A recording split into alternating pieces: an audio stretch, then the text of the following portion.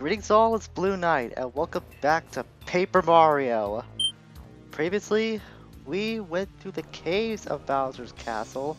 Yeah, didn't expect to see something like that of all things in such a royal, quote-unquote, place like this. But we did find such a thing, and went through it in one sitting, which was fairly quick, to my surprise. Eventually, we landed ourselves into a lobby of sorts, which contains an item shop and uh, a toad house, which we just recovered from uh, to get all our strength back. Uh.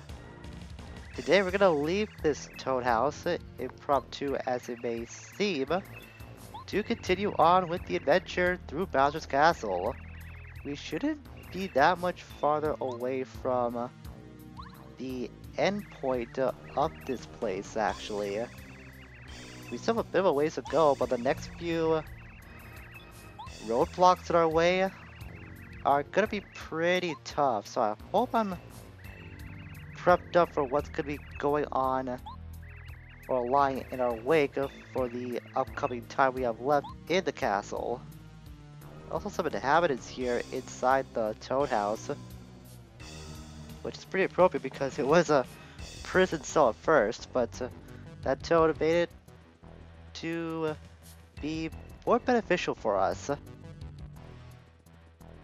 So on the way over here, I'm to take a quick stop to save just to be safe. And then we'll head over to the item shop to see if I need to get anything for what's to be coming up. I feel like I'm fairly prepared for what, what's to be lying ahead, but just be safe.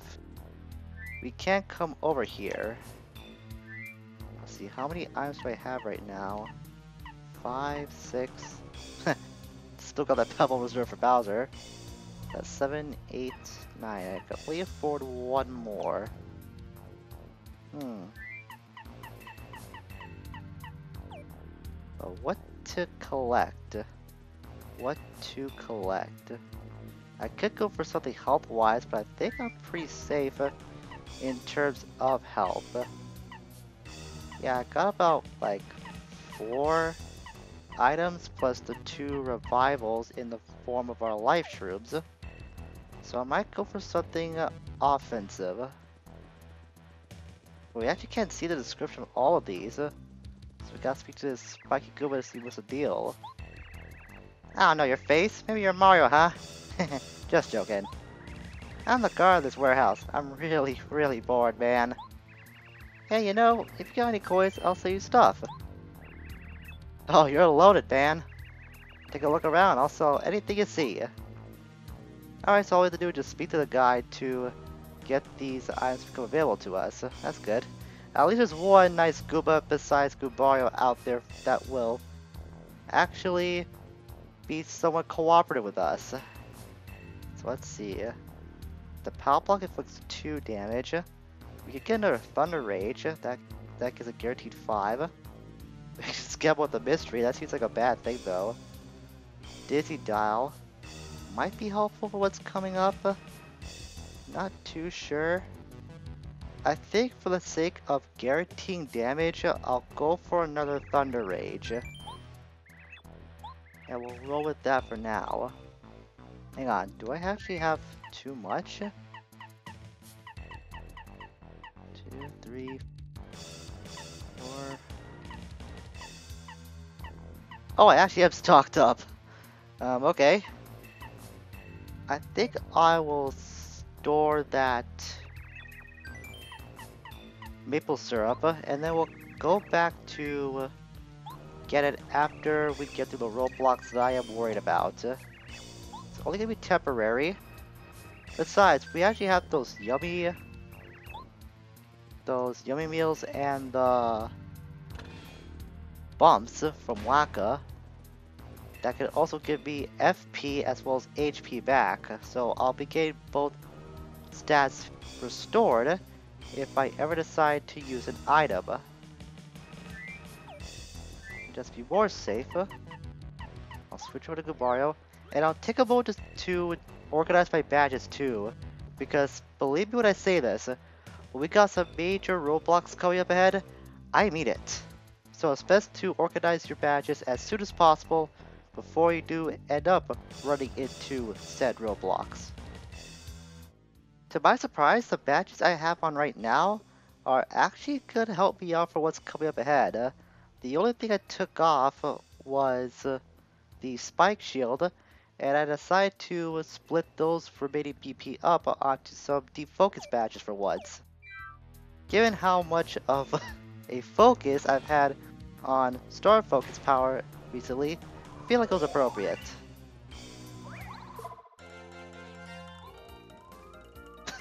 I'm early. Just seem to help me out a lot. So I don't know why you like to be so nice to me, but uh, like I said, I'll take it. I'll always take it. Technically, invisibility doesn't count as a buff, does it? I'm still gonna try this anyways. See if it works. Highly doubt it will, but you never know what could happen. Always nice to experiment. Oh, it does work! Okay. So invisibility does count as a buff. That I would never have suspected. Well, the bad news is, I picked the worst time to disengage uh, the spike shield badge. so I picked a really bad time to not have Mario jump on this guy.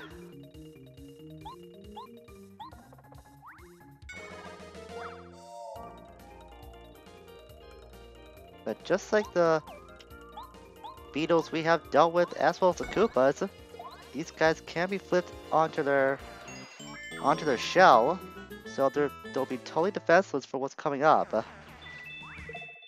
Totally forgot about that guy. Oh, that's really bad. An attack boost plus an invincibility. Well, it's a good I got the star beam out, out now. Otherwise, I would have no counter against this combination.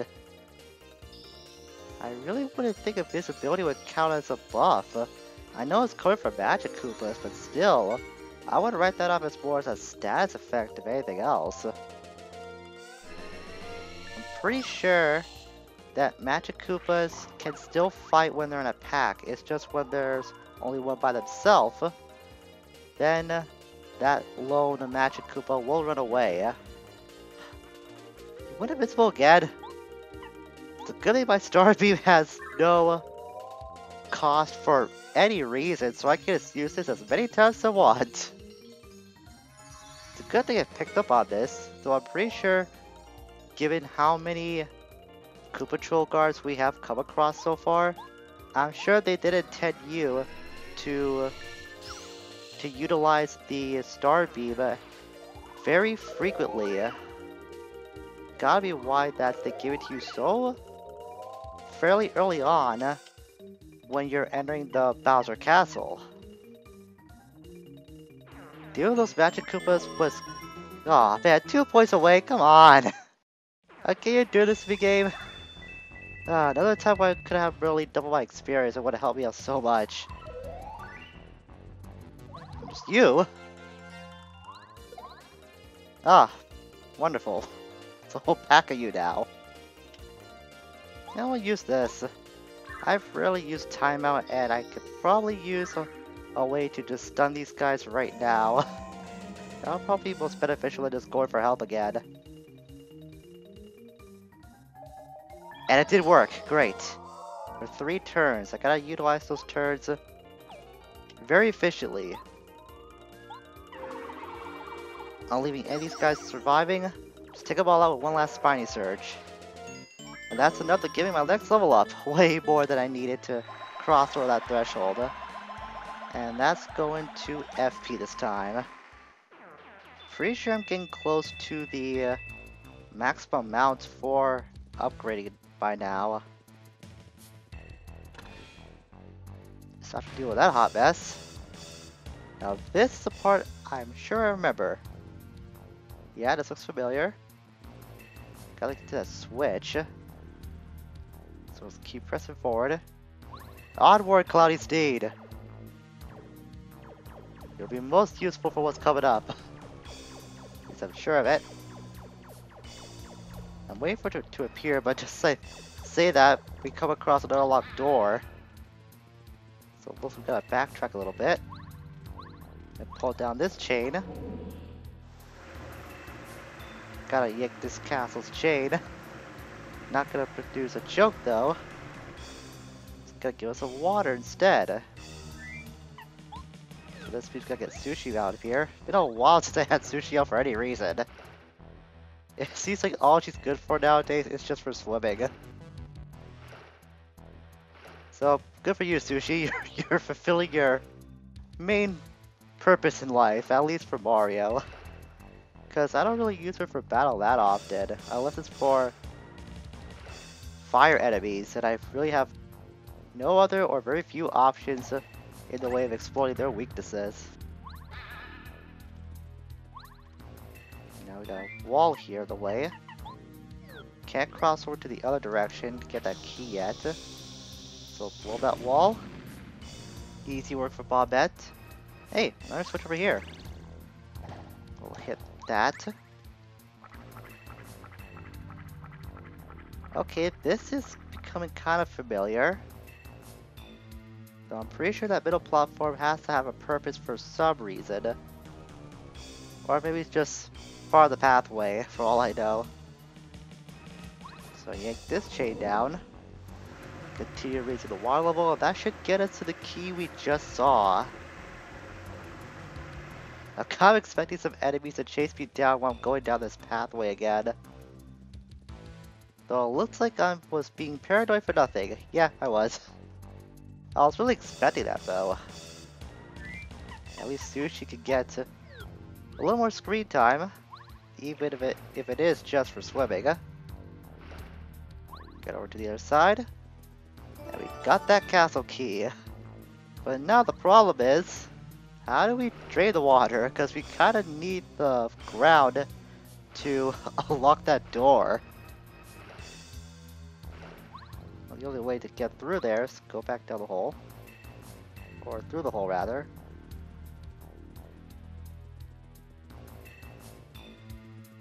Keep going through here.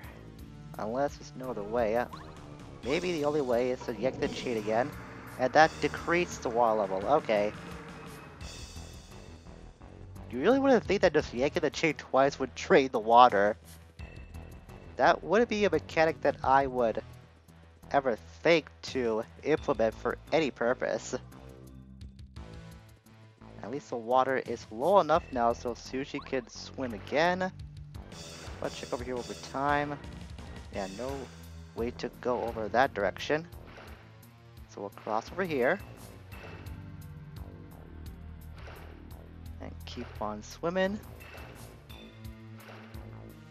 And keep on swimming, just swim and swim and swim some more Till we hit the dead end.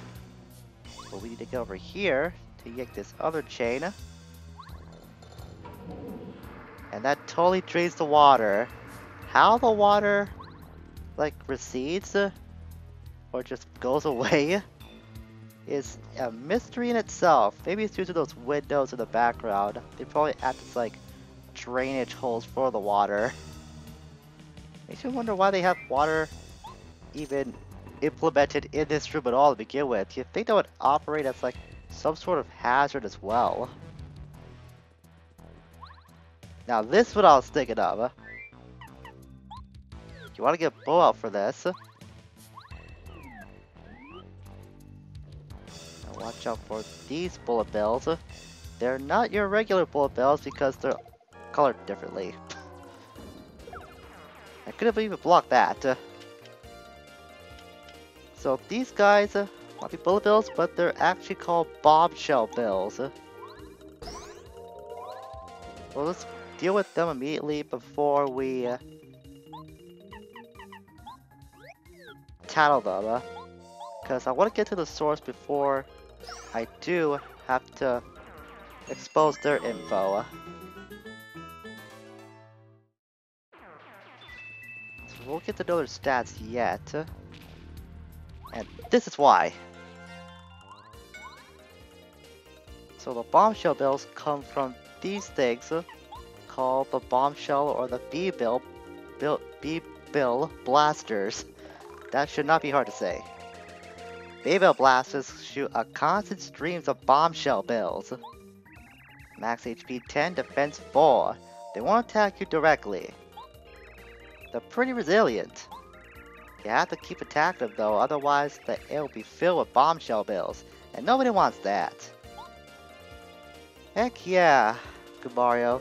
Nobody wants it at all. They have really sturdy defense, so I gotta find some way to hurt them, uh, and hurt them a lot. I can just fall back on an item and hope for the best that way, but I want to save those for later on. On the other hand, I could just use my star power, but I know where that got me before, and I don't, I'm not making that mistake again. Let's go for a Mega Quake. Oh, hey Merlee! Once again, all that timing. All that time to just decide what to do really didn't mean much in the grand scheme of things because she was plenty of the wings to be our guardian angel again. That helped out a lot. And I'm feeling more confident about dealing with the B. Bill blasters so I can deal with their ammo. Bombshell bills have such beautiful gold casings. Of course, if you sit and admire them, you'll get hit. Max HP 3, attack power 6. Pay attention to the HP because their explosions get bigger as their as their HP drops. Let's think about before they get near us. And I'm sure with a simple multi-bounce, I could deal with them. Yeah, I wasn't expecting to hurt those uh, blasters though. It's gotta be something really sturdy to take care of them. Let's go for what?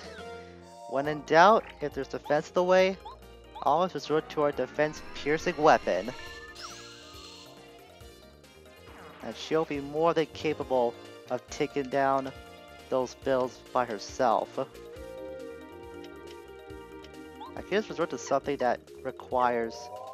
Actually, yeah, I will do that. I'll use D-Down Powder. Supposed to see about saving my FP, but I just remembered. I did have D-Down so I can negate, negate the defense as Mario too. So that didn't turn out to be that much of a hazard, or any hazard at all. I was really fearing this to be a lot more deadly than it turned out to be. Though, if I'm correct, there should be a second pair of... Yep, there's a second pair of blasters awaiting on the other side of this staircase too. Pretty simple, just zigzag your way across and we jump on them, that's when the fight starts. Of course, since these are bullet bills that we are dealing with, you can use those blasters as a way to grind up your star experience reward if you choose to do so. Three of this time. But be careful here! I was so close to the end too. Now I'll just jump on you. Deal with you quickly. And we'll take care of you. So as I was saying, you can't use these B. Bill blasters to grind up star points. Uh, it's gonna be pretty risky since they are a palette swap version of regular bills we dealt with in the past. and as we all know in RPGs, palette swapped enemies tend to be pretty dangerous because they have a different tint of color around, around them. That takes care of the first pair. Now for the other one. And this might be the last pair we have to deal with in this section. Zigzag. To avoid the ammo. Okay, that did, that's not how I was expecting things to go out. or turn out. Yet, it wouldn't matter anyway since uh, jumping uh, onto the B. Bill blasters wouldn't affect them at all as Mario. Unless I'm in a fight and, use, and I'm using something like this. Um, really? I know you're my guardian angel and all, but this is not gonna help at all. Because these kind of blasters cannot attack me directly. In fact, they didn't even try to shoot out any more bombshell bills. So you're just kind of wasting your magic there a little bit. Oh well. It's not like she's had the most perfect track record of this game anyways. if that was true, then she would be pretty broken. On the other hand, that was the last of the blasters we had to deal with. Oh! And this is a new enemy we haven't seen yet. We still got some time, we'll deal with this guy too. He's pretty dangerous though. He's already tried to get the attack on us. Just gotta avoid his bones. I go right for him. Hey! Maple syrup! How's a nice surprise to find? Pretty sure I'm not gonna pick that up though because... Well, let's I should actually because I have been, have burning through some FP a little bit now. Anyways, here are some dry bones. Dry bones are skeletal remains from Koopa Troopas. XP, HP 8, attack 4, defense 2. Just when you think they're beat, these guys rise back up and attack again. You're gonna have to beat them all at once. Or you could use fire attacks. If they become ashes, there's no way they'll recover. Yeah, they can use Bone Throw, just like we saw outside of the battle. And they can reassemble since they are the undead we're speaking of here even after you deplete all their HP.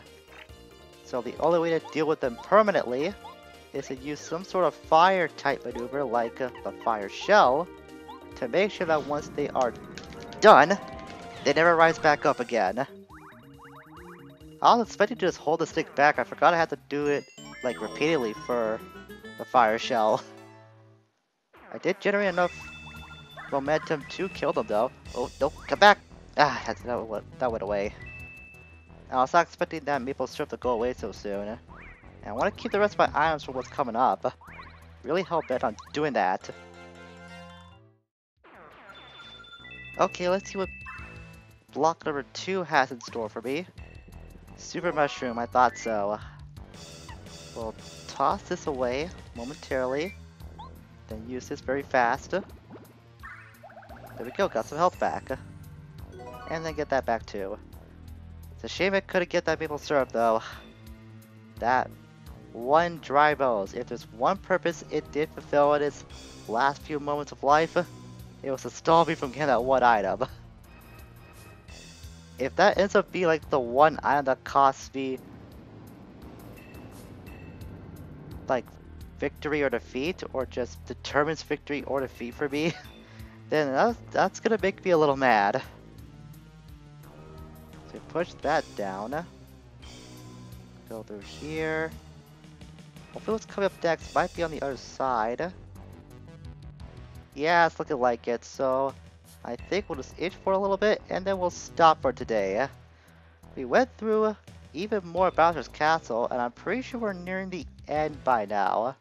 By the way, the dry bones that we dealt with, this game is the only appearance they ever had on the N64 pretty shocking to think that for an enemy that's kind of frequent in Mario games nowadays, at least in the modern ones, there was a time in their lives that they didn't really make that much of an appearance. It's kind of weird to think about now in today's climate. But that is the truth when it comes to the N64. With that being said, next time, we're going to press on ahead and see if we can get through what remains of Bowser's Castle on our way up to Peach's Castle.